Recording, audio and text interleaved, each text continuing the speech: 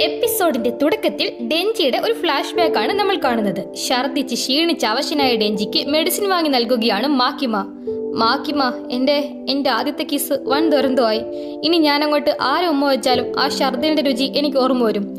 എന്ന് തകർന്നു നിൽക്കുന്ന ഡെഞ്ചിക്ക് താൻ കഴിച്ചുകൊണ്ടിരുന്ന ചുപ്പാ ചുപ്പ് ക്യാൻഡി എടുത്ത് നൽകുകയാണ് മാക്കിമ ആ ഫ്ലാഷ് ബാക്ക് അവിടെ കട്ടാവുമ്പോൾ ഹിമിനോട് വീട്ടിൽ ബെഡിൽ നിന്ന് നിലത്തിറങ്ങി കിടക്കുന്ന ഡെഞ്ചി പൊച്ചിറ്റിയോട് എന്ന പോലെ തന്റെ ഫസ്റ്റ് കിസ് ഭൂലോക ദുരന്തമായതും തനിക്ക് മാക്കിമയോടുള്ള സ്നേഹവും ഗണ്ടവെളിനെ കൊല്ലണമെന്ന ലക്ഷ്യവും എല്ലാം പുലമ്പിക്കിടന്നുറങ്ങുകയാണ്. ഡെഞ്ചിക്ക് ഒഹയോ. പിറ്റേ ദിവസം നേരം പുലർന്ന് ഡെഞ്ചിയെ ബ്രേക്ക്ഫാസ്റ്റ് കഴിക്കാൻ വന്ന് വിളിക്കുകയാണ് ഹിമനു.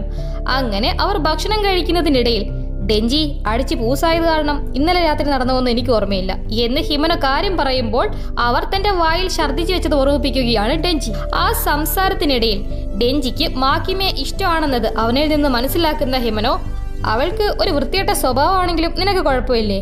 എന്ന് അവനോട് തിരക്കുമ്പോൾ ഇല്ലെന്നിരിക്കുകയാണ് ഡെഞ്ചി. അതോടെ ഡെഞ്ചി നമ്മൾ തമ്മിലൊരു രഹസ്യധാരണയിലെത്തിയാലോ? മാക്കിമ്മയുടെ കാര്യത്തിൽ ഞാൻ നിന്നെ സഹായിക്കാം. പകരം ആകിയുടെ കാര്യത്തിൽ നീ എന്നെ സഹായിക്കണം. എന്ന് ആകെയോട് തനിക്കുള്ള ഇഷ്ടവും പറഞ്ഞ് ഡെഞ്ചിയുമായി ഡീൽ ഉണ്ടാക്കാൻ ശ്രമിക്കുകയാണ് ഹിമനോ.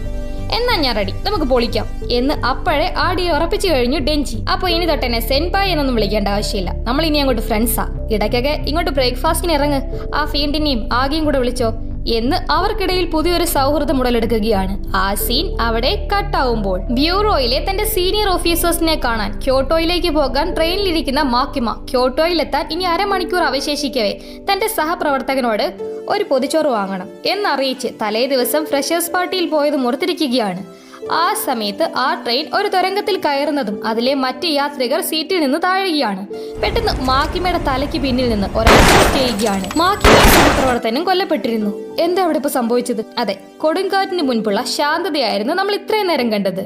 ഇത് ടീം സി ആണ്. ഓപ്പറേഷൻ ആരംഭിക്കുക എന്ന് വാക്കിയിലൂടെയുള്ള നിർദ്ദേശം അവിടെ മുഴങ്ങുന്നതിനൊപ്പം ആ സീൻ അവിടെ കട്ടായിട്ട് ഇനി നമ്മൾ ടോക്കിയോയിൽ ഒരു സ്ട്രീറ്റിൽ എന്തോ കേസിന്റെ ഭാഗമായി നിൽക്കുന്ന കൊബിനെയും അവൾക്കൊപ്പമുള്ള മറ്റൊരു സഹപ്രവർത്തകനെയുമാണ് കാണുന്നത്. ഗണ്ണുമായി പലരും അവരെയും വളയുമ്പോൾ അവർക്ക് അരികിലൂടെ നടന്നുപോയ ഒരു വൃദ്ധ പെട്ടെന്ന് അവർക്ക് പിന്നിൽ നിന്ന് ഗണ്ണെടുത്ത് അവർക്ക് നേർക്ക് ഷൂട്ട് ചെയ്യുകയാണ്. ഈ സമയം ഒരു ഹോട്ടലിലിരുന്ന് ഭക്ഷണം കഴിച്ചുകൊണ്ടിരിക്കുകയാണ് ആക്കിയും ഡെഞ്ചിയും പവറും ഹിമിനോയും. കൊബനിക്ക് നേർക്കുണ്ടായ ആ ഷൂട്ടൌട്ട് ശബ്ദങ്ങൾ അവിടെ വരെ കേൾക്കാമായിരുന്നു. അതെന്താ ശബ്ദം കേട്ടത്? എന്ന് ഡെഞ്ചി തിരക്കുമ്പോൾ നിനക്കറിയില്ലേ പൊട്ടൻ ഉത്സവത്തിന് ചെണ്ട കൊട്ടുന്നതാണ് എന്ന് ആ ഷൂട്ടൌട്ട് ശബ്ദത്തിനെ തെറ്റിദ്ധരിച്ച് പവർ മറുപടി പറയുമ്പോഴാണ് ഈ വായി വെക്കാൻ പോലും കൊള്ളാത്ത ഫുഡ് നീയൊക്കെ എങ്ങനെയാ കഴിക്കുന്നത്? എന്ന് അവിടെ ഇരുന്ന ഒരാൾ അവരെ പുച്ഛിക്കുന്നത്. നീ ആരാ? എന്ന് ഹിമനോയും ഇത് നല്ല ഫുഡാണല്ലോ എന്ന് ഡെഞ്ചിയും എന്റെ അടുത്ത് പരിചയമുള്ള പോലെ സംസാരിക്കല്ലേ എന്ന് കലപ്പിൽ പവറും അയാൾക്ക് മറുപടി നൽകുമ്പോ നിനക്കൊക്കെ നല്ല ഭക്ഷണം എന്താണെന്നറിയില്ല. അതാ ഹാ പറഞ്ഞിട്ട് കാര്യമില്ല. ചെറുപ്പം തൊട്ടേ ഓരോ പൊട്ട സാധനങ്ങൾ തിന്നോണ്ടിരുന്ന രുചിയുള്ളത് തിരിച്ചറിയാൻ സാധിക്കില്ലെന്ന് പഴമക്കാർ പറഞ്ഞിട്ടുണ്ട്. നല്ല സ്വാദ് ആസ്വദിക്കാൻ കഴിയില്ലെങ്കിൽ നിങ്ങളുടെ സന്തോഷവും കുറയും എന്ന് അയാൾ അവരെ അധിക്ഷേപിക്കുകയാണ് അത് കേട്ട് അവിടെ നിന്ന് പോകാമെന്നിരിക്കുകയാണ് ആക്കി എന്നാൽ എന്റെ മുത്തശ്ശൻ ഈ ലോകത്തിലെ ഏറ്റവും കരുണയുള്ള മനുഷ്യനായിരുന്നു. ആളെന്നെ എപ്പോഴും വലിയ വലിയ ഹോട്ടലുകളിൽ കൊണ്ടുപോകുമായിരുന്നു. മുത്തശ്ശൻ ഒരു യാഗോസിയായിരുന്നു. ആളെ പോലെയുള്ളവരെ അനിവാര്യമായ തിന്മയെന്ന് വിളിക്കാം. മുത്തശ്ശൻ അങ്ങനെ അധികം സ്ത്രീകളെയും കുട്ടികളെയും കൊന്നിട്ടൊന്നുമില്ല. മയക്കുമരുന്ന് വിറ്റ് കിട്ടിയ കാശ് കൊണ്ട് ചോദിക്കുന്നത് എന്തും മുത്തശ്ശൻ എനിക്ക് മേടിച്ചു തന്നിട്ടുണ്ട്. ആളൊരു നല്ല മനുഷ്യനായിരുന്നു. എന്ന് തന്റെ കഥനകഥ പറയുന്ന ആ സ്ട്രേഞ്ചർ അയാളുടെ പോക്കറ്റിൽ നിന്ന് തന്റെയും മുത്തശ്ശന്റെയും ഫോട്ടോ എടുത്ത് നിനക്കും ആളെ ഇഷ്ടമായിരുന്നില്ലേ ഡെഞ്ചി? എന്ന് ഡെഞ്ചിയോട് തിരക്കുകയാണ്. കാരണം ഈ പുള്ളിക്കാരന്റെ കഥനകഥയിലെ ആ അപ്പാപ്പൻ മറ്റാരും അല്ല ഈ സീരീസിന്റെ തുടക്കത്തിൽ ഡെഞ്ചി വന്ന ആ വൃദ്ധനായിരുന്നു. തനിക്കിപ്പോ എന്താ വേണ്ടത്? എന്ന് ആ ഫോട്ടോ കണ്ട് രഞ്ജി തിരക്കുമ്പോൾ നിനക്കവനെ അറിയാമോ?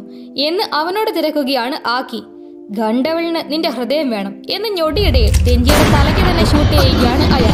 പുറകിലേക്ക് വീണു പോവുകയാണ് ഡെഞ്ചി വീണ്ടും അവിടെ പലയിടത്തായി അയാൾ ഷൂട്ട് ചെയ്യുമ്പോൾ ഹിമനോയ്ക്കും ബുള്ളറ്റ് ഏൽക്കുകയാണ് അയാളെ ഇടിച്ചു തെറിപ്പിക്കുന്ന പവർ തലേക്കട്ടെ എന്ന് ആകെ വിളിക്കുമ്പോൾ ഖോൻ എന്ന് തന്റെ ചെന്നായെ വിളിക്കുകയാണ് ആഗി ഉടൻ തന്നെ ആഗിയുടെ ഫോക്സ് ഡെവലെത്തി അയാളെ വിഴുങ്ങുകയാണ്. ആ രംഗം ഒന്ന് ശാന്തമാവുമ്പോൾ മരണാസന്നനായി കിടക്കുന്ന ഡെഞ്ചിയും ഹിമനോയും നോക്കുകയാണ് ആഗി എന്നാൽ ആക്കി ഹയക്കാവ. നീ ഒരു ഭീകര സത്യത്തെയാണ് എന്റെ വായിൽ വെച്ച് തന്നത്. ഇത് മനുഷ്യനുമല്ല ഡെവിളുമല്ല എന്ന് ആകെ അറിയിക്കുകയാണ് ആ ചെന്നായ.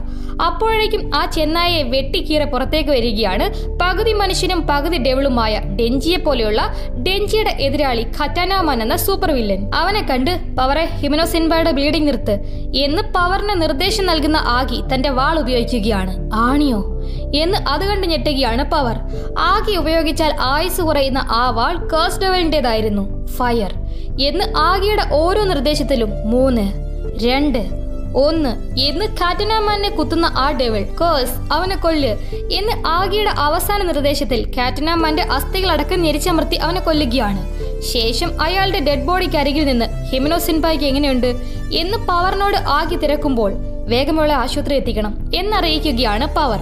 അവിടെ നിലത്ത് ഗണ്ണ് കിടക്കുന്നത് ശ്രദ്ധിക്കുന്ന ആഗി അവന്റെ കയ്യിൽ ഒരു തോക്കുണ്ടായിരുന്നു. പക്ഷെ ജപ്പാനിൽ പോലീസിനും ഡെവൽ ഹണ്ടർമാർക്കും മാത്രമേ തോക്ക് കിട്ടൂ. എന്ന് പുലമ്പി നിൽക്കുമ്പോഴാണ് ഗണ്ടവളിന് നിന്റെ ഹൃദയം വേണം എന്ന് കാറ്റനാമാൻ ഡെൻജിയോട് പറഞ്ഞത് ആകെ ഓർക്കുന്നത്. ആ സമയത്താണ് കാറ്റനാമാനിന് അരികിൽ ഒരു പെണ്ണ് വന്നു എന്ന് നിന്റെ കേസ് ഡെവൽ ആ ആണി വെച്ചൊരാളെ പലതവണ കുത്തിയ അവർ മരിക്കും. ശരിയല്ലേ? നിന്റെ അഭ്യാസമൊക്കെ കൊള്ളായിരുന്നു എന്ന് കാറ്റനാമാന്റെ നെഞ്ചിൽ കൈവയ്ക്കുന്നത്.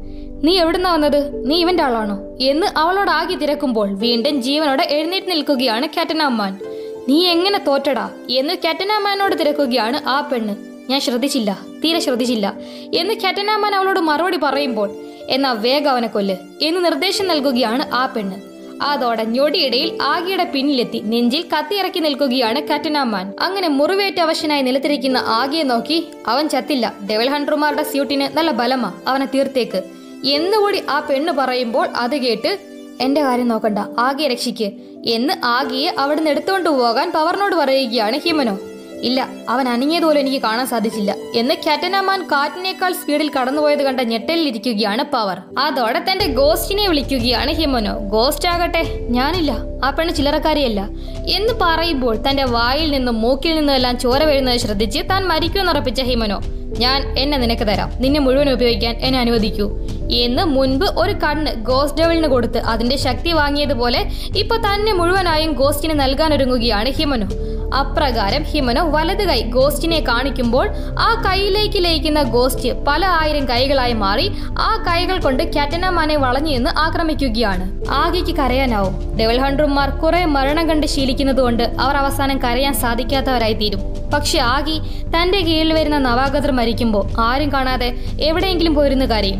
അങ്ങനെ നമുക്ക് വേണ്ടി കരയാൻ ഒരാളുണ്ടെന്ന് അറിയുന്നത് നല്ലതായിരിക്കുമല്ലേ? എന്ന് കറ്റനാമാനെ കീഴ്പ്പെടുത്തി നിൽക്കുമ്പോൾ അവിടെ നിന്ന പെണ്ണിനോട് സഹായം ചോദിക്കുകയാണ് കറ്റനാമാൻ അപ്പോഴേക്കും തന്റെ രണ്ട് കൈകളും ഗോസ്റ്റിൽ ലയിച്ച് അപ്രത്യക്ഷമായി മാറിയ ഹിമനോ ആകി നീ മരിക്കരുത്. ഞാൻ മരിക്കുമ്പോൾ എനിക്ക് വേണ്ടി കരയാൻ നീ ഉണ്ടായിരിക്കണം എന്ന് ആഗിയോട് പറയുമ്പോൾ നിസ്സഹായനായി അത് നോക്കിക്കിടക്കുകയാണ് ആഗി.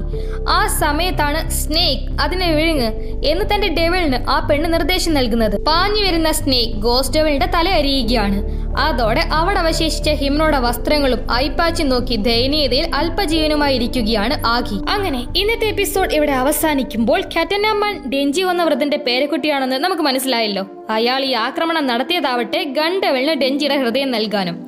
ഈ നടന്ന ആക്രമണത്തിൽ ഇവിടെ അവശേഷിക്കുന്നതാവട്ടെ പവർ മാത്രവും. മാക്കിമയും ഡെഞ്ചിയും ഹിമനോയും ഫോക്സ് ഡെവളും ആഗിയും ഗോസ്റ്റവളും എല്ലാം പരാജയപ്പെട്ടയിടത്ത് പവർ ഇനി എന്താവും ചെയ്യാൻ പോകുന്നത്? കെറ്റനാമാനും സ്നേക് ഡെവലിനെ കൊണ്ടു നടക്കുന്ന പെണ്ണും. ഇനി എന്താവും ചെയ്യുക? കാത്തിരിക്കുക. കഥ തുടരും. Till Tilden by